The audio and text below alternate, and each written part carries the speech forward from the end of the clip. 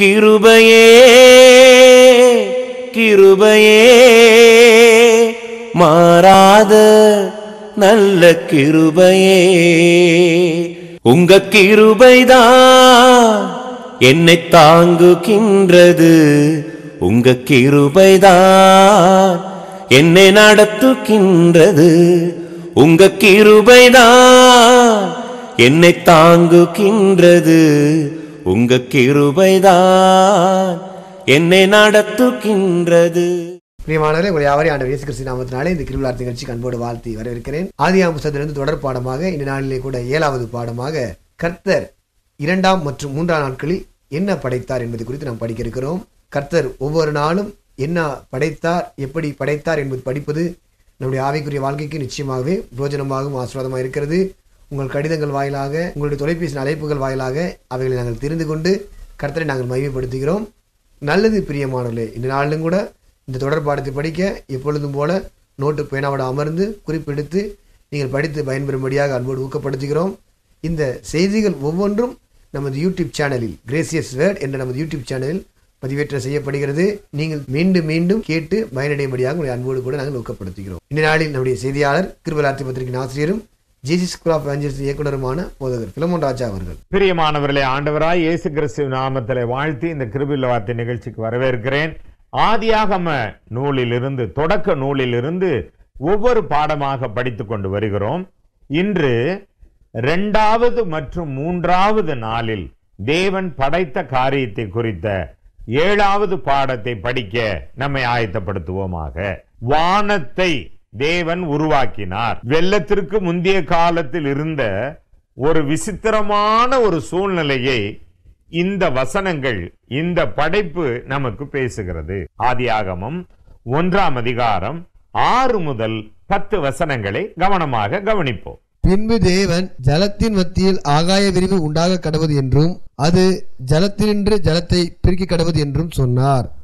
தேவன் ஆகாய விரிவை உண்டு பண்ணி ஆகாய விரிவுக்கு கீழே இருக்கிற ஜலத்திற்கும் ஆகாய விரிவுக்கு மேலே இருக்கிற ஜலத்திற்கும் பிரிவு உண்டாக்கினார்.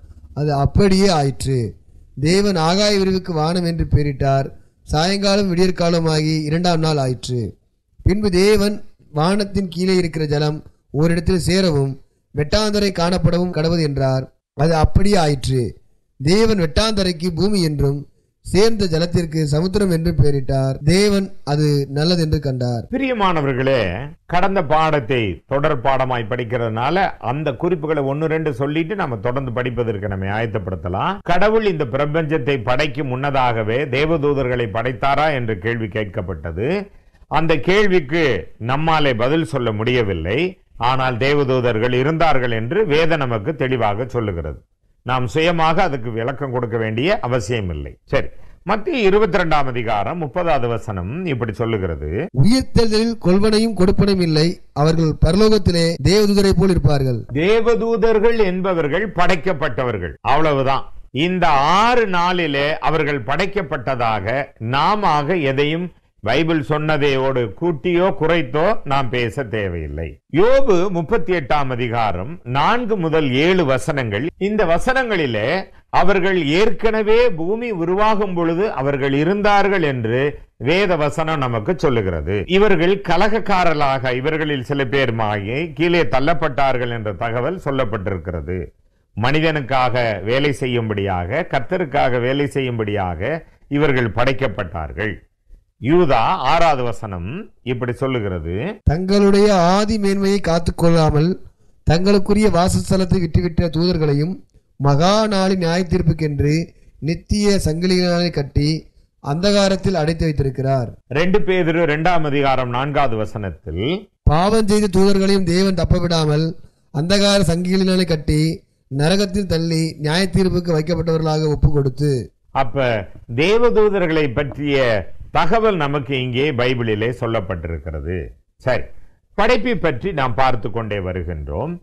கடவுள் வடிவம் ஆற்றல் ஒளி இவை எல்லாவற்றினுடைய மூலமாக அவர் இருக்கின்றார்.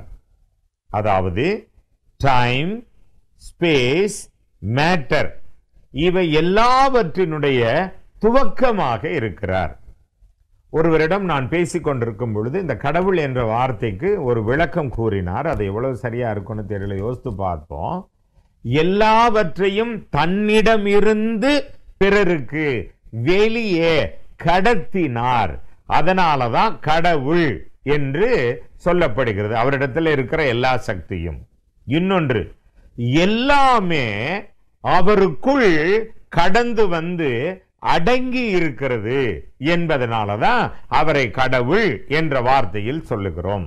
இன்னொரு வார்த்தையில சொன்னா பஞ்ச பூதங்களும் அவரிலிருந்து புறப்பட்டு வெளியே போனது அவருக்குள்ளே அடங்கி இருக்கிறது அவரை மீறி அவைகளால் செயல்பட முடியாது என்ற ஒரு அழகான அர்த்தத்தில் தான் கடவுள் என்ற வார்த்தை தமிழில் பயன்படுத்தப்பட்டிருக்கிறது.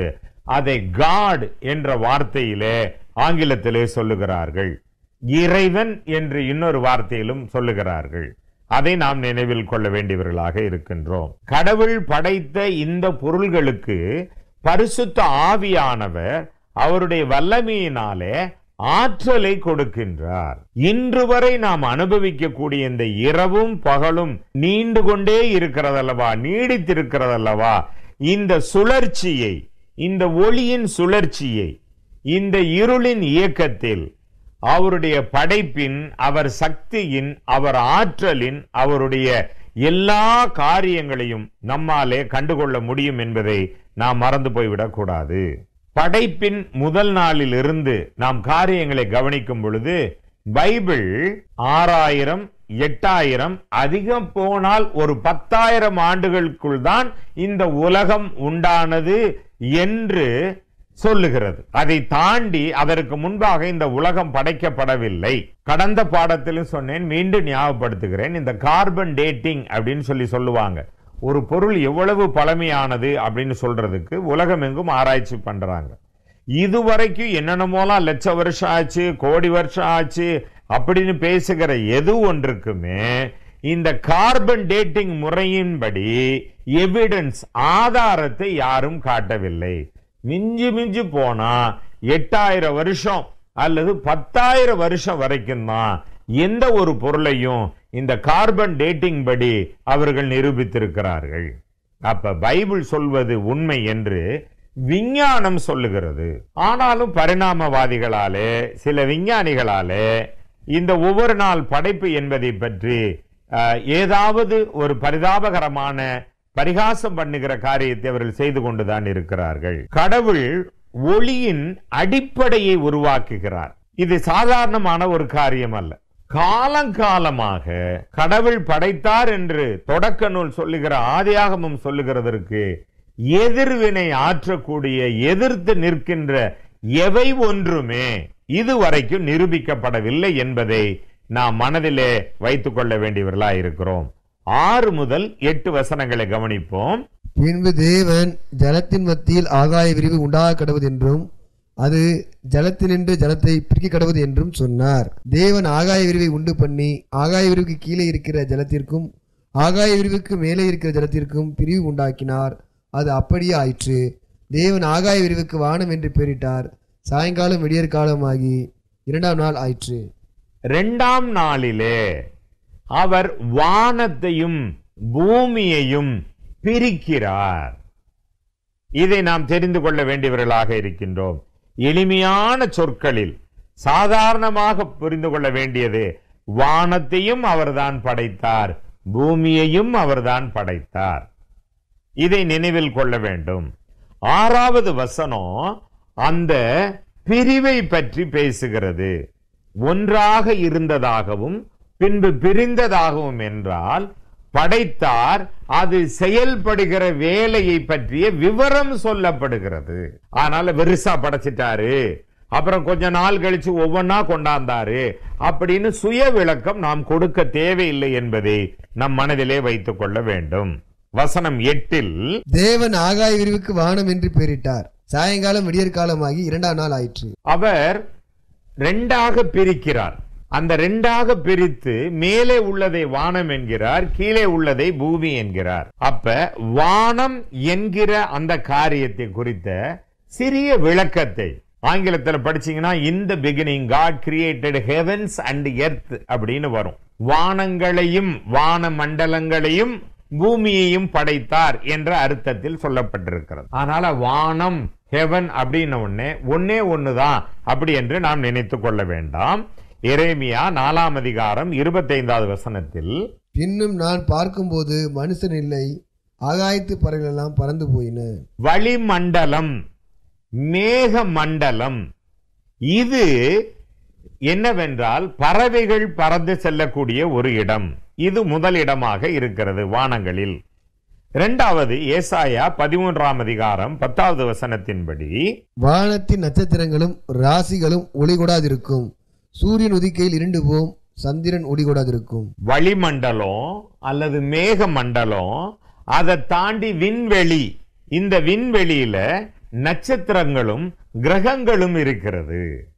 அப்ப அது அடுத்த ஒரு நிலையாக இருக்கிறது. வானம் என்பதை. எபிரேயர் ஒன்பதாம் அதிகாரம் இருபத்தி நான்காவது வசனத்தில் அந்தபடி மெய்யான பரிசு ஸ்தலத்துக்கு அடையாளமான கையினால் செய்யப்பட்டதாய் இருக்கிற பரிசு ஸ்தலத்தில் கிறிஸ்துவானவர் பிரவேசியாமல் பரலோகத்திலே தானே இப்பொழுது நமக்காக தேவனுடைய சமூகத்தில் பிரதிட்சையாகும்படி பிரவேசித்திருக்கிறார். வானம் என்று சொல்லும் பொழுது மூன்று காரியத்தை நான் சொன்னேன். பறவைகள் பறக்கிற ஒரு வானம் அதை தாண்டி நட்சத்திரங்கள் சூரிய சந்திர இவைகளெல்லாம் இருக்கின்ற ஒரு வானம். அதை தாண்டி எல்லாவற்றையும் படைத்தவர் வாழ்கின்ற அவருடைய சிம்மாசனம் இருக்கின்ற அவருடைய வீடாகிய பரலோகம் என்ற ஒரு வானம். இதை நாம் தெளிவாக தெரிந்து கொள்ள வேண்டும்.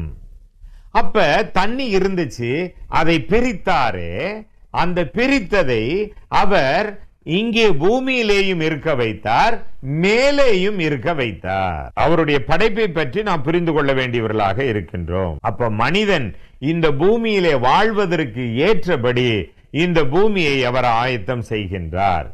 விண்ணுலகின் கீழே மனிதனுக்கு தேவையான தண்ணீரை தாங்கி நிற்கக்கூடிய மேகங்கள் இருப்பதை வானம் என்று சொல்லப்படுகிறது. அது இங்கே வந்து சேரும் பொழுது அது நீராக மாறுகிறது. இந்த நீராக மாறுவதற்கு முன்பாக அது அங்கே சேமித்து வைக்கப்படுகிறது. அது வானத்தின் ஒரு பகுதியாக இருக்கிறது. ஜலத்தினின்று ஜலத்தை பிரித்தார். நீரினின்று நீரை பிரித்தார். விரிவாக்கினார். பிரிக்கப்பட்டது என்ற விளக்கம் நமக்கு சொல்லப்படுகிறது. பூமியிலே உள்ள திரவ நீர் வளிமண்டலத்திற்கு மேலே உள்ள காற்றான நீர் அல்லது நீராவி. நீரை பிரித்தார் என்று சொல்லப்படுகிறதே அது எப்படி பிரிக்கப்பட்டிருக்கிறது என்பதை நாம் புரிந்து கொள்ள வேண்டும். அங்கேயும் மேலேயும் தண்ணியாவே இருக்குது. அப்படின்னா எந்த நேரம் பார்த்தாலும் ஒளிகிட்டே இருக்கும் என்று அல்ல. எவ்வளவு அழகாக வேதம் பேசுகிறது பாருங்க.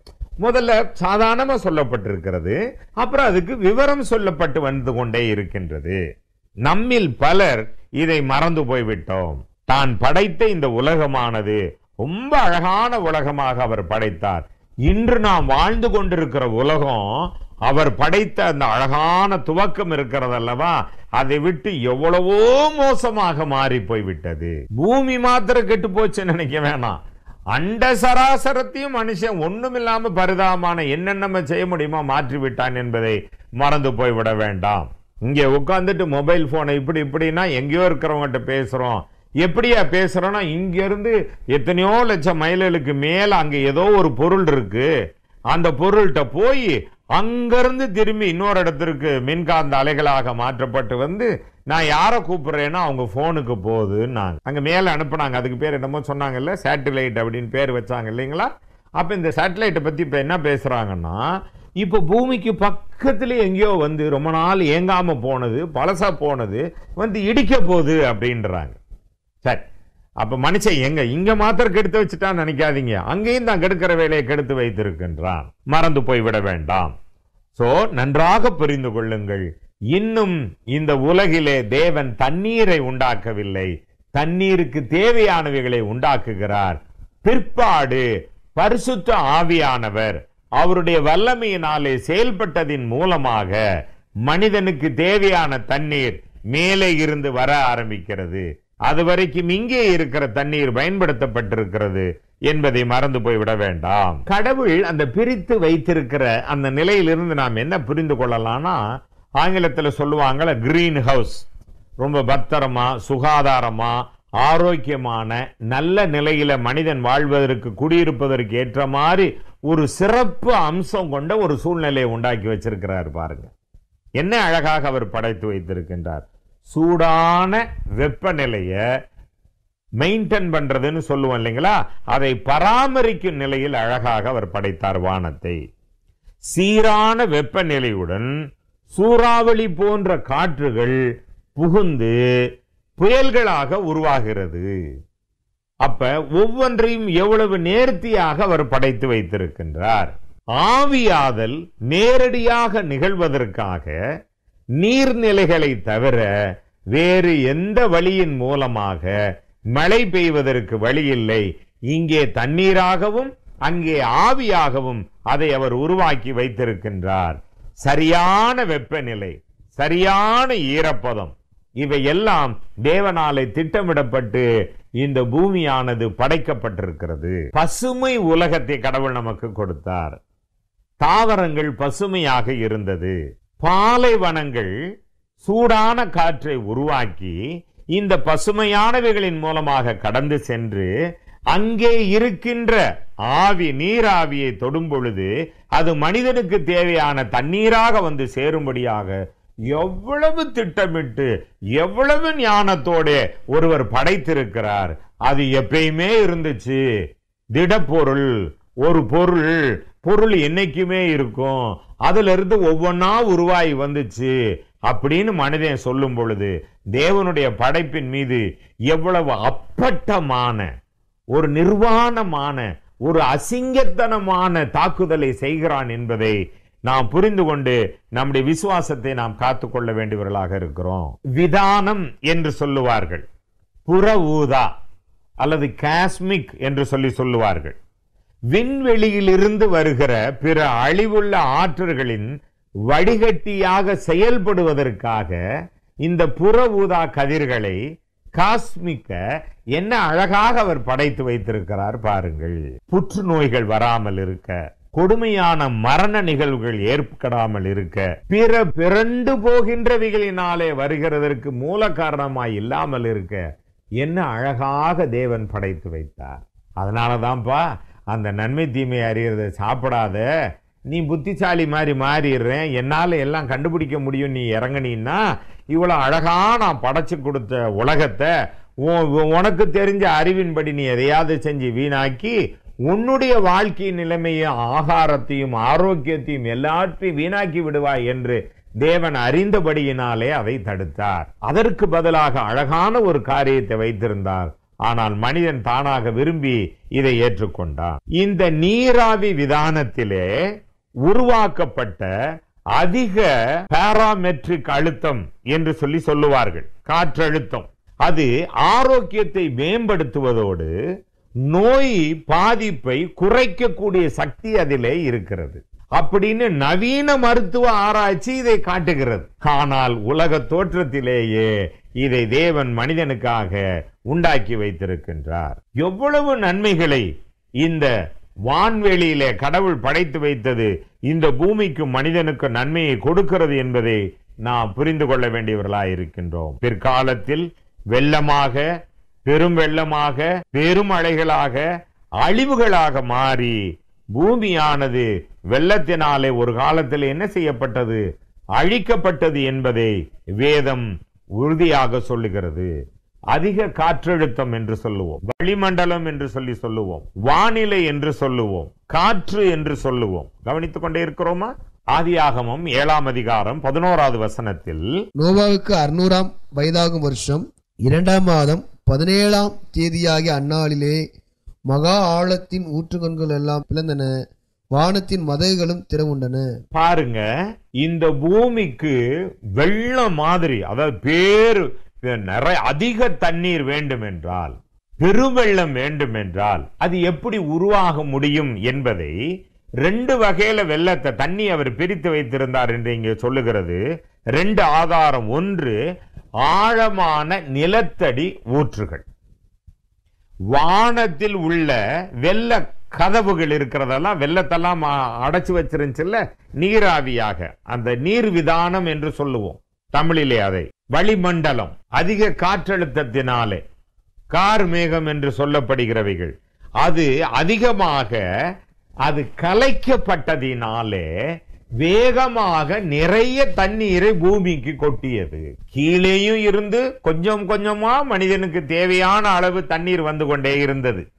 ஆறாக ஓடியது குளங்குட்டையாக இருந்தது நீரூற்றுகளாக இருந்தது தேவையான அளவு அழகாக இருந்தது. பாவமும் பாவத்தின் கொடுமையும் அதிகமானபடியினாலே படைத்தவருடைய மனது உடைந்து சிதலமானதனுடைய அதாவது வேதனை மிஞ்சி போனதின் விளைவாக வெள்ளத்தை கொண்டு அழித்தார் என்று சொல்லுகிறது. அதற்கு அழகாக விளக்கம் கொடுக்கிறது. தண்ணீரை கடவுள் சேர்த்து வைத்த இடம் இரண்டு. ஒன்று பூமிக்கடியிலே இன்னொன்று ஆகாய விரிவிலே என்று சொல்லுகிறது. அது உண்மை என்பதை நாம் தேவனுடைய படைப்பின் மூலமாக ஆதியாகம புத்தகத்தின் முதல் இரண்டு அதிகாரங்களின் மூலமாக உறுதியாக தெரிந்து கொள்ள முடியும். மூன்றாவது நாள் ஒன்பது பத்தாவது வசனங்களை கவனிப்போம். பின்பு தேவன் வானத்தின் கீழே இருக்கிற ஜலம் ஓரிடத்தில் சேரவும் நெட்டாந்தரை காணப்படவும் கடவுது என்றார். அது அப்படியே ஆவிற்று தேவன் நெட்டாந்தரைக்கு பூமி என்றும் சேர்ந்த ஜலத்திற்கு சமுத்திரம் என்று பெயரிட்டார். தேவன் அது நல்லது என்று கண்டார். நன்றாக கவனிப்போம். முதல் நாளிலே இருளிலிருந்து வெளிச்சத்தை பிரிக்கின்றார். இரண்டாவது நாளிலே வானத்தையும் பூமியையும் பிரிக்கிறார். தண்ணீரை இரண்டாக பிரிக்கிறார். மேலே தண்ணீர் இருக்கும்படியாகவும் வானத்திலேயும் பூமியிலே தண்ணீர் இருக்கும்படியாகவும் படைக்கிறார். இப்போது மூன்றாவது நாளை பற்றி சொல்லப்படுகிறது. அது வளிமண்டலம் கடல்கள் நிலம் இவைகளில் சேர்த்து வைக்கப்படுகிற தண்ணீரை பற்றி பேசுகிறது. ஏனென்றால் இவைகளில் நீர் இருந்தால்தான் மனிதனுடைய வாழ்க்கைக்கு தேவையானவைகளுக்கு அந்த நீர் உதவி செய்யும் என்று அவர் திட்டமிட்டார். பொதுவா பைபிளுக்கு வெளியில போய் சொல்லிட்டு திரும்பி உள்ள வருகிறேன். மனிதன் ஆதியிலே நீங்கள் மனிதனுடைய வாழ்க்கை வரலாற்றை நாகரீக வாழ்க்கை வரலாற்றை ஆராய்ச்சி செய்து பார்த்தீர்களே என்றால் வைகை ஆற்று படுகை பொன்னி ஆற்றி படுகை அல்லது கங்கை ஆற்றின் ஓரம் நைல் நதி ஆற்றின் ஓரம் அப்படின்னு பேசுவாங்க. என்னன்னா ஆறுனா தண்ணி கிடைக்கும். அந்த ஆற்றன் கரையிலே மனிதன் குடியிருந்தான். இன்னும் கொஞ்சம் விவரமா போகலாம் உலகம் முழுசு எப்படி தொடர்பு கொண்டாங்க? விமானம் இப்பதானே வந்துச்சு கொஞ்ச நாளைக்கு முன்னாடி. ஆகாய விமானம். எப்படி உலகம் ஒரு நாட்டிலிருந்து இன்னொரு நாட்டுக்கு போனாங்கன்னா கப்பல் மூலமாக தங்கள் வியாபாரங்களை பெருக்கினார்கள் பயணம் செய்தார்கள். அப்ப நீர் வழியை பயன்படுத்தி ஒரு இடத்திலிருந்து இன்னொரு இடத்திற்கு போனான். அப்ப தேவன் நீரை பிரித்து கடலில் நீராகவும் ஆற்றில் நீராகவும் பூமிக்கடியில் ஊற்றில் நீராகவும் அவர் உண்டாக்கினார் என்பதை அவருடைய படைப்பின் இரண்டாம் நாள் மூன்றாம் நாள் காரியங்கள் நமக்கு தெளிவாக சொல்லுகிறது. ஆம் பிரியமானவர்களே ஒவ்வொரு நாளும் காலையில் எழுந்தவுடனே ஆகாயத்தை பார்க்கும் பொழுது ஆதியாகம நூலை நினைத்து அவரின் படைப்பிற்காக நாம் நன்றி சொல்லுவோம். ஒவ்வொரு மாலையும் நாம் பார்க்கும் பொழுது இரவையும் நாம் பார்க்கும் பொழுது அவர் என்ன அழகாக நமக்காக படைத்தார் என்பதை நாம் நினைத்து புரிந்து கொள்வோம். தண்ணீரை பார்க்கும் பொழுது அதை கவனமாக பயன்படுத்துங்கள் சிக்கனமாக பயன்படுத்துங்கள் அதை வீணாக்க வேண்டாம் என்று உலகம் முழுவதும் ஈன குரல் எழுப்புகிறது மரண ஓலம் எழுப்புகிறது. காரணம் சில பகுதிகளில் மழையே பெய்வதில்லை தண்ணீரே இல்லாமல் போய்விடுகிறது.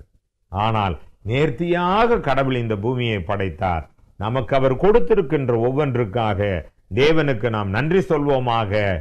மனிதனுடைய ஒரு பிரார்த்தனையினாலேயோ மனிதனுடைய ஞானமான முயற்சியினாலேயோ இந்த உலகம் உண்டாகவில்லை.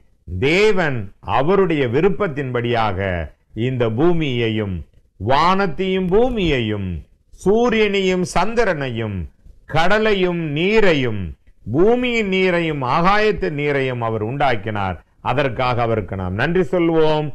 அந்த விசுவாசத்தில் வளர்ந்து பெருக நம்மை பலப்படுத்துவோம். தேவனுக்கு சித்தமானால் ஆதி ஆகமத்தில் அவருடைய படைப்பை பற்றி அடுத்த பாடத்தில் படிக்க நம்மை ஆயத்தப்படுத்துவோமாக.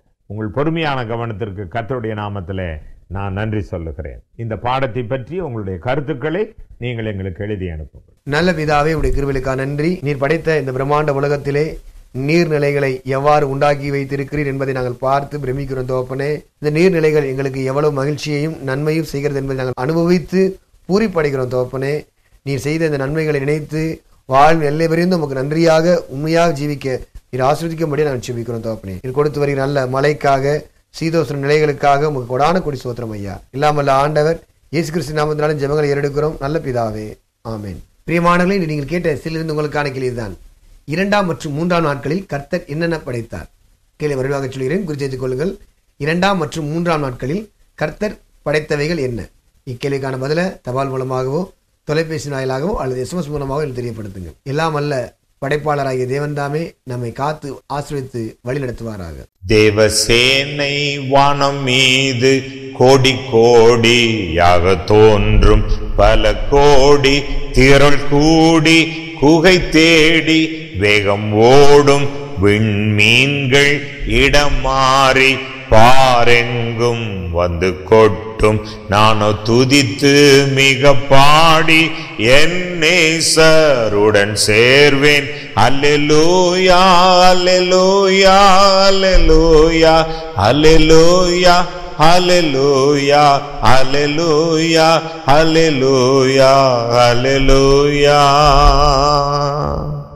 ஐந்து கண்டம் தனில் ஆழும் ஆட்சியாவும் மற்று போகும் இருள் சூழும் இடி முழங்கும் கூச்சல் கேட்கும் கண்ணீர் சிந்தும் துயர் கூட்ட சுத்த உள்ளம் சாட்சி பாடல் எங்கும் கேட்கும். நானோ துதித்து மிக பாடி என்னே சருடன் சேர்வேன். அல்லேலூயா அல்லேலூயா அல்லேலூயா அல்லேலூயா. அல்லேலூயா அல்லேலூயா அல்லேலூயா அல்லேலூயா கடல் குமுறும் கரை உடையும் கப்பல் கவிழும் பெரும் நாசம் போக்குவரத்து யாவோ நிற்கும். இனி உலகம் என்பதில்லை.